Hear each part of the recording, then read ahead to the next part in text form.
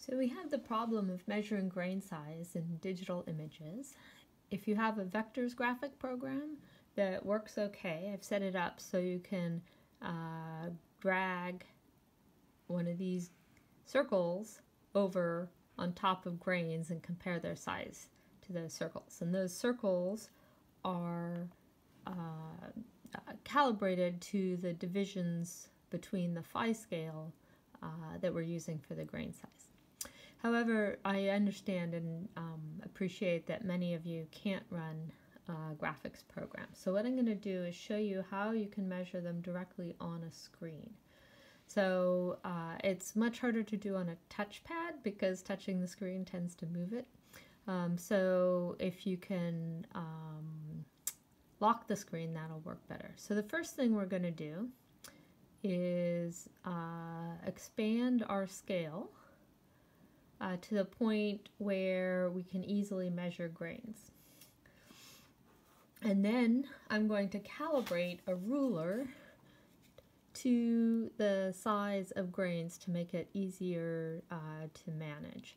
So this big circle here is uh, one millimeter or 1000 microns. And so I have this uh, grain size chart um, with uh, millimeters marked on it. So what I'm going to try to do is make it so that that circle is an even number of, of centimeters. And then I'll be able to uh, divide easily. So I'm going to make it really big so it's easier. I'm going to make it five, try to make it five centimeters. So to do that, I'm going to increase the scale, which is different on your different programs, um, until I get that being uh, five millimeters. So in mine, I can draw the box around it and it's still a little teeny bit too small. So the way my uh, drawing program works, the box goes to the edge of the window. So I'm going to draw it just slightly smaller than the, the window that I have right now. Let's see, let's see how that did. Okay, so now I have five centimeters on my scale. My physical scale is equivalent to one millimeter. So I'm going to write that down um, and uh, so that I don't forget it and I will write it uh, on the screen here. So we have uh, one millimeter on the photo equals 5 millimeters on the ruler. Okay. So we'll get rid of this panel so we can see that. Okay, so then what I'm going to do is I'm going to measure with the ruler and I want to calculate how many millimeters that is on the photo. So what I need to do is, is calculate uh, what I would multiply times my ruler to get the millimeters on the photo. Um, and so in this particular case, one of the reasons I chose 5 is that is the equivalent of uh, 1 over 5, which is 20%. So in other words, uh, I multiply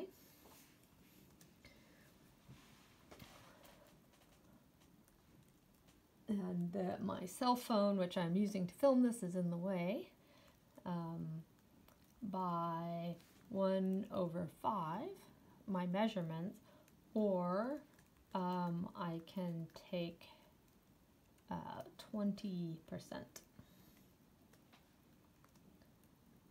of what uh, I measure. Okay. Okay, and then I'm also, because I often mess things up a little bit, I'm also going to write down what the magnification on my screen is for that value. And it's 581%. 581 percent uh, is the magnification on the screen.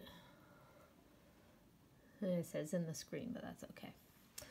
It's just notes for me, and you can see that uh, I type is uh, not so well. Um, okay, so I want to keep this same magnification, so I just turned the magnifier, which I definitely want to get rid of here. Okay, um, so I don't actually change it. And now I'm going to scroll to the place uh, that I want to measure. So if I zoom out and zoom in, I have to get back to the 581 spot, so I'm not going to do that. I'm just going to try to find it. And there, there it is. Okay, so drag the scale bar. So my box is here.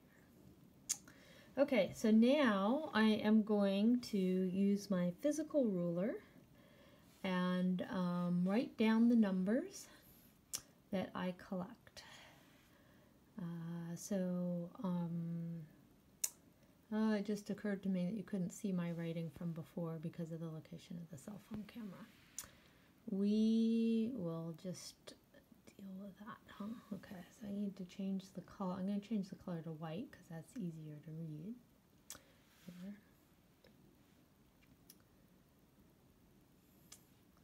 Forgot it wasn't capturing my whole screen. Okay, so I am going to, I'm going to draw on this so that you can see a little bit what I'm doing here. Um, so let's see how big my my uh, cursor here. I'm going to make it really as small as possible. That's as small as possible. Okay, so let's see what grains you can see in your field of view. Okay, there's this, let's do an easy one to start with. Okay, we'll start with this grain right here. Okay. So what I'm doing is just holding my ruler up to it, and I think you guys probably already know this, but I will just show you in detail. So I am actually, in this dimension, measuring 2 centimeters, which is 20 millimeters. Okay. So I need to go back get some text here.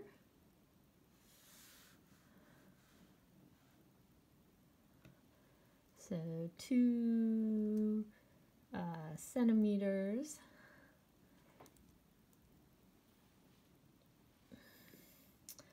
And that gets translated. If I get 20% of 2 centimeters that gets translated to 1 millimeter or 20 centimeters 20% nope that's not actually right. Um, so I want 20% of 2 centimeters is actually uh, 4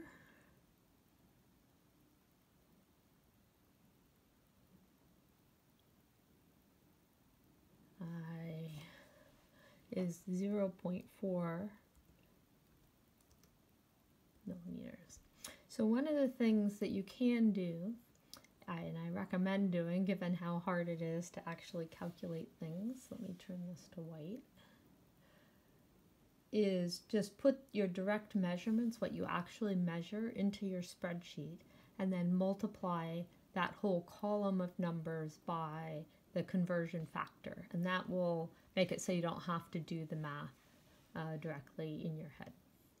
Okay, so another thing to note is that I measured uh, the grain in this direction and it's a little bit different size in this direction. It's a little bit smaller.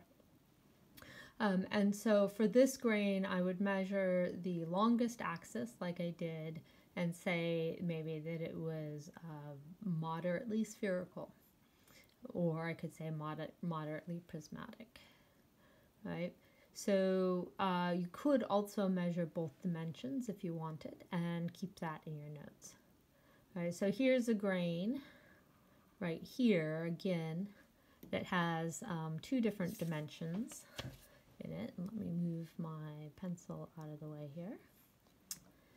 All right, so in this dimension, I am getting um,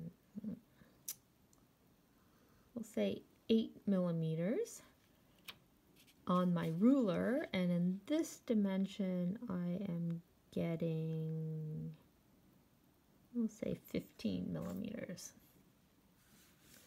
So if I go back to the text this particular grain is 8 millimeters by uh, what did I say?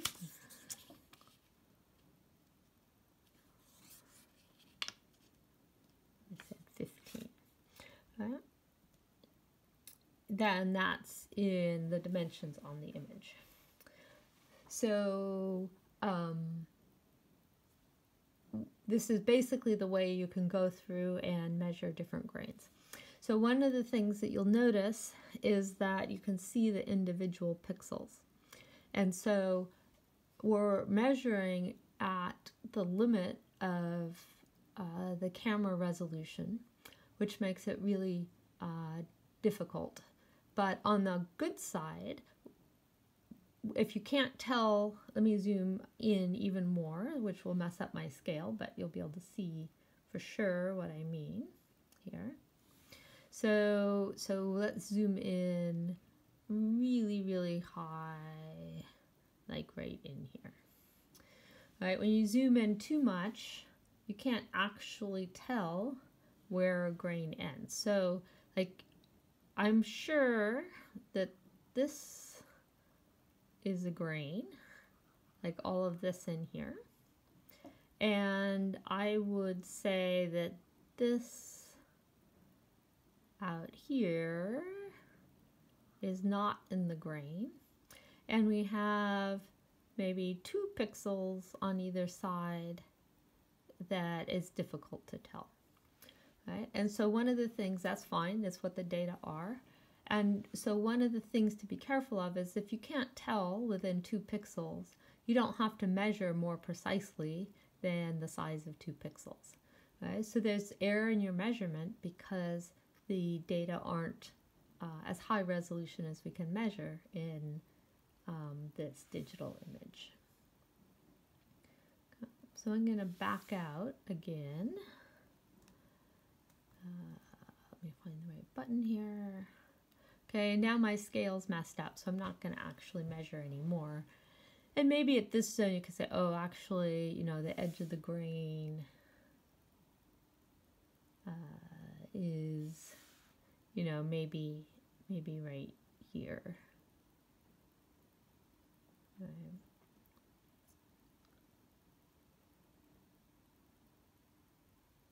Okay. So if you're doing this in any sort of program that you can annotate, you can you can sort of also mark the grains that you measure so you keep track of them. Because you don't want to measure the same ones again, and if you're measuring 50, it'll be hard to keep track of. Right? So you can just sort of like put a dot uh, or something like that in the in the ones that you've measured. Okay. So the other way is if you don't have a good enough screen to measure them on the screen like this, um, you can print out the image and uh, use it with a different with scale uh, bars like you would uh, with a map. And in on when you do it on paper, you don't get to make it easy to measure uh, in terms of getting even numbers of millimeters um, relative to your uh, specific number of microns. Um, however, it could be physically easier for you, and you're welcome to do it that way as well. Thanks for watching.